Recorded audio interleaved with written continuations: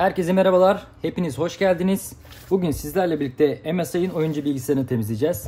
Nereden alınmış? Dubai'den. Bu bilgiyi niye verdim? Bilmiyorum. Bu versiyon Türkiye'de var mı yok mu bilmiyorum. Şuraları şeffaf yapmışlar. Şuralar şeffaf. Yani güzel mi olmuş, kötü mü bilemedim açıkçası. Çok fazla ısınıyormuş, ısıları çok fazla çıkıyormuş. Şimdi söküp bir bakacağım nedenmiş.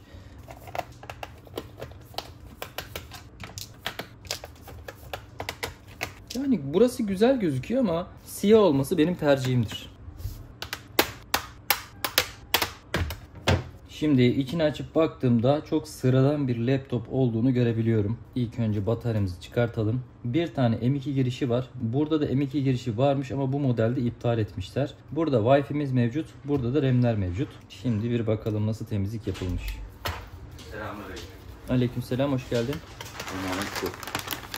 Ekran kartı mı? Aynen. Çıkart bir bakayım poşetini. İkinci el aldım. Tamam. Adam evde kedi besliyormuş. Hı hı. Yani biraz pis. Biraz da değil. Bayağı pis. Test bile etmedim yani. O, onların onun bilgisayarını test et. Şimdi petlerin iyi durumda. Hala da yumuşacık. Bu da iyi durumda olduğunu gösteriyor zaten. Hı. Petlerde falan bir sıkıntı yok. Bloklar temizlenecek. Termal macun yenilenecek. Bu kadar basit. Ne kadar maliyet? 400 lira yaparım. Hmm. Çok şey. Telefonda 300 dedin. O başka bir şey. Bu çok pis. Biraz pisliğine göre de değişiyor açıkçası yani. Tamam sorun değil. Peki böyle power supply falan buna ne yeterli bana? Yani 650 watt bile yeterli olur aslında. Ne var sende şu an? FSP'nin Tamam. 700'lüğü var. Süper. Sıkıntı yok. Akşam kaçta kapatıyorsunuz? Ben 8'e kadar buradayım. Ee, benim bir 2 saatlik işim var. Sonra buna başlarım. İlk zaman ben seni ararım zaten. Tamam. Kolay gelsin. Sağ olun, teşekkürler. Devam edelim. Çok ısınıyormuş. Bakalım neden ısınıyormuş. Ya ses yapmayın be. Duydu mu lan? Şimdi şöyle söyleyeyim. Türkiye'deki modellerde bu sadece dışı farklı gibi geldi bana. Vidalar değişik. Her yerde vida değişik. Buralara ince vidalar falan kullanmışlar. Buralara kalın vidalar kullanmışlar. Hani buna ne gerek var bilmiyorum ama demek ki bir gerek var. Şimdi arkadaş termal macunu yenilemiş mi bilmiyorum ama termal macun şu an su gibi. İlk önce bunu silelim. Yenisini koyalım. Çok güzel bir termal macun değilmiş gibi duruyor. Selamünaleyküm. Aleykümselam abi hoş geldin. Kolay gelsin. Teşekkür ederim. Buyur abi. Sonuçta ben anlatacağım da sen daha iyi anla. Çok fazla telaffuz edemiyorum ben bu bilgisayar şeylerini. Buyur abi. Şimdi biz bunu oyun bilgisayarı olarak aldık. Tamam. İçinde de Windows 10 program yüklenmişti. Bir Tamam. sene önce falan. Hı hı. Ee, şimdi oğlum diyor ki baba diyor benim diyor oyunum kendiliğinden silindi. Bu Ep- Epic Games'i indirmiştik oradan da GTA 5'i. Tamam. Oyun kendiliğinden diyor silindi. Bir de diyor diğer mesela oyunlarında da diyor e, yaptığı mesela işte aldığı karakterler şunlar bunlar kendini sıfırlıyor. Bir Öyle de bir şey olamaz abi. Bil- Yani bilgisayarla hiçbir alakası yok bu işin. neyden olabilir peki bu? Yani kullanıcıdan çıkmıştır, yanlış kullanıcıya girmiştir, hesabı çalınmıştır. Öyle bir şey olabilir mi? Yanlış kullanılıyor. Yani birisine şifresini vermiştir ya da yanlışlıkla ne bileyim ben arkadaşlar arasında konuşmuştur. Birisi gitmiştir onun şifresini girmiştir bir yerden. Öyle Öyle bir şey oldu mu? öyle bir şey. Ya ben olası şeyleri söylüyorum Anladım. tabii de. Tabii. İnsanlar bilgisayar alıyor. Hani bu AVM'ler falan filan var ya işte bilmem ne AVM, şu AVM, bu AVM. Elden taksit veren yerler yani. Bu elden taksit veren yerler sıfır bilgisayar diye satıyorlar. Evet sıfır. Kimse ona bir şey söylemiyor zaten. Ama içindeki teknoloji 10 senelik. 10 senelik bilgisayarı, klavye, mouse, ekran bir de işte kasa bunu 14 bin liraya satmışlar geçen sene. Ve çocuk şu an hiçbir şey oynayamıyor. Çünkü içinde 750 ekran kartı var. GT 750. Bununla ne oynayabilirsin ki zaten? İşte bilmeyen insanlara satıyorlar. Onlar da alıyor mecbur tabii ki bilmiyor. E, elden taksit var tabii ki. Adamın da işine geliyor. Çocuğunu işte sevindirecek vesaire. Ama işin içine bir girdiğimiz zaman ne alaka yani? Bir de oyun bilgisayarı diye satmışlar. Bunu oyun bilgisayarı olarak satmanız bir suç. Bu oyun bilgisayarı değil. Mario'yu kaldıran bir bilgisayar, oyun diye oyun bilgisayarı olamaz. Ayıp gerçekten ayıp. Kendinizden utanmalısınız. Şimdi bu velet niye ısınıyor abi? Termal macun çok kötüydü anladık. Bakalım toz moz bir şey var mı? Onu merak ettim şimdi. Oh my goodness. Toz varmış ve bayağı toz var. İşte dıştan fan temizliği yapmanız yetmiyor. Buraları temizlemeniz gerekir. İşte bu kadar ya. Bu kadar.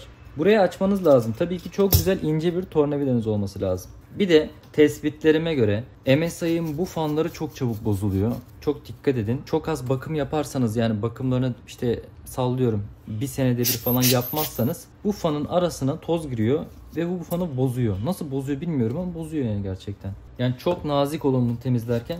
O da çok nazik bir fan. Şimdi geri monte edelim. Kısacası neden ısındığını bulduk. Bloklar doluymuş. Bloklar temizlendi. Termal macun da çok kötü. Yani ne sıktığını bilmiyorum. O yüzden termal macunu beğenmedim zaten. Termal macunu da şimdi MX4 sıkacağız. Ondan sonra ısınırsa bile saatler sonra ısınır.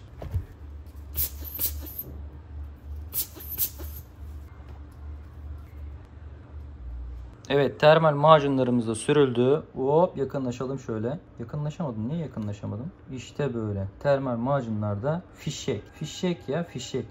Bilgisayardaki sorunumuz neydi? Isı problemiydi. Peki ne sorunum vardı? Termal macunlar çok kötüydü ve bloklarımızın içi de dop doluydu. Bunları temizledik. Temizledikten sonra şimdi geri monte edeceğim ve böyle bir sorun kalmayacak. İlk önce ekran kartı tarafına sıkalım. Hoppa. Bunları siz yapıyorsanız güzel bir tornavida kullanın. Bu tornavidanın ne olduğunu hep merak ediyorsunuz. Proskit arkadaşlar. Proskit'in herhangi bir tornavidası olabilir. Çok kaliteli tornavidalardır. Yani ben çok memnunum. Bu bir reklam değildir. Bilginiz olsun. Yani benim çok fazla alet edevatım falan yok. Alet edevatınızı güzel kullandığınız zaman her şeyi yapabilirsiniz. Yani ufaktan istiyorsanız size bir göstereyim şöyle merak ediyorsanız. Şöyle bunlar var. Makasım. Burada cımbızlarım var. Yaklaşık 6-7 tane cımbızım var. Böyle penselerim var. Fırçalarım var. İşte burada tornavidalarım var. Benim motorun anahtarı. İşte burada lehimler falan var. Lehim makinesi falan var. Hava makinesi de deniyor buna aynı zamanda. Şöyle açıyorsunuz. Şuradan da lehimi açıyorsunuz vesaire vesaire. İşte burada tornavidalarım var. Burada fırçalarım var. Burada spatulam var. Bak bu çok önemli. Gerçekten çok önemli. Ben bunsuz asla iş yapamam. Ee, bir şeyler içiyorum. Kabı atmıyorum. Bu şekilde çöp olarak kullanıyorum. Burada bir kolam var şu an. Asitik açmış. İğrenç bir tat var ama içiyorum. Burada vidalarım var. Bir sürü vidalarım var. Hiçbir şeye atmam. Bu şekilde kullanırım. Bunlar çok lazım oluyor. Sonra buralarda yağ var, flaksım var, yapıştırıcılarım var, termal macunlar var MX4. Ee, MX4'ü bunun içine sıkıyorum öyle kullanıyorum. Burada da aynı şekilde bir sürü fırçalarım, tel fırçam vesaire falan filan var. Burada yapılması gereken bir laptop var, yapılması gereken tabletim var. Burada e, notebook uçları var. Bunlarla deniyorum. Bir standart uca takıyorsunuz buna. Bu makineye bağlıyorsunuz ve her türlü kullanabiliyorsunuz. Vesaire vesaire. Ön bilgi bu. Şimdi devam ediyorum. Şimdi sadece şuradaki bataryamızı takacağız ve kapağını yerleştireceğiz.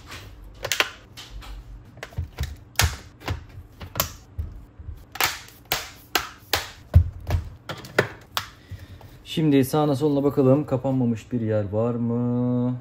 Yok. Yok. Yok. Güzel. Şimdi dış tarafını temizleyelim. Bir de cihazın ses sorunu varmış. Birisi format atmış ve format attıktan sonra da çok e, stabil çalışmıyormuş galiba dediğine göre. Neymiş? Ses sorunu varmış mesela. E, büyük bir ihtimal format attıktan sonra kendi sitesinden driverları falan indirmedi. Bazı ses dosyaları ne yazık ki baştan kurulması gerekiyor ve Windows'u tamamıyla baştan kurmadan ses sorunları hallolmuyor. Tabii ki hallolan cihazlar var ama eğer ki böyle bir problem varsa format atmadan düzelmeyecektir. Şimdi de ona bakacağım zaten. Bu işlemler bittikten sonra. Bu ne ya buradaki gitmiyor. Aa, çizdirmiş. Ya güzel de ne bileyim ya. Bazı yerleri şeffaf falan. Garip yani.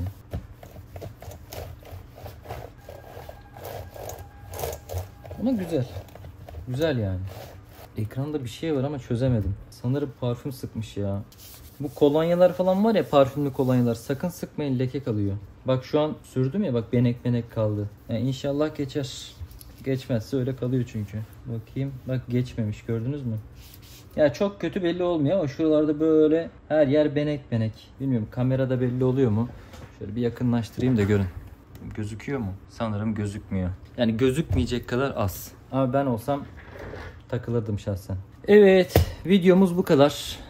80 bine geldik. Çok teşekkür ederim. Videolarımı izlediğiniz için, beni takip ettiğiniz için. Ee, bir dahaki videoda görüşmek üzere. Hoşçakalın. Kendinize çok iyi bakalım. O zaman görüşürüz. Bir dahaki videoda görüşmek üzere.